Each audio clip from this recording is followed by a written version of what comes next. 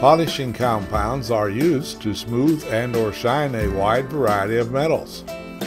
Polishing compounds are similar to sandpaper in that they are used from coarse to fine.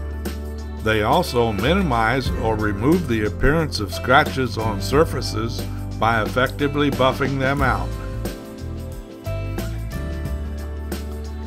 The white is used for light polishing, primarily used in the final finish of steel, stainless steel, and zinc.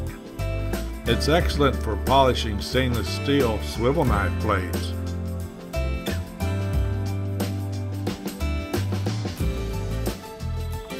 The red is used for regular cleaning of metals. Most common uses of this iron oxide compound are best for precious metals and steel swivel knife blades.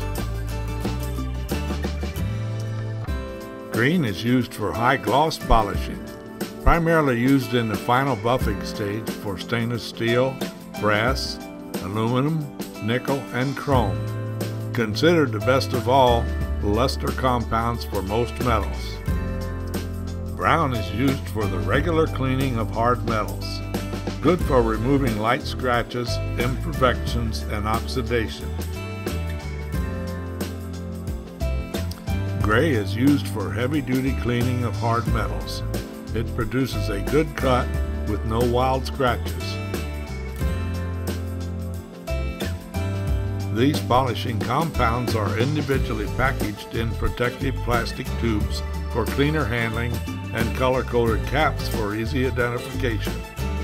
Each tube weighs approximately 1.5 ounces.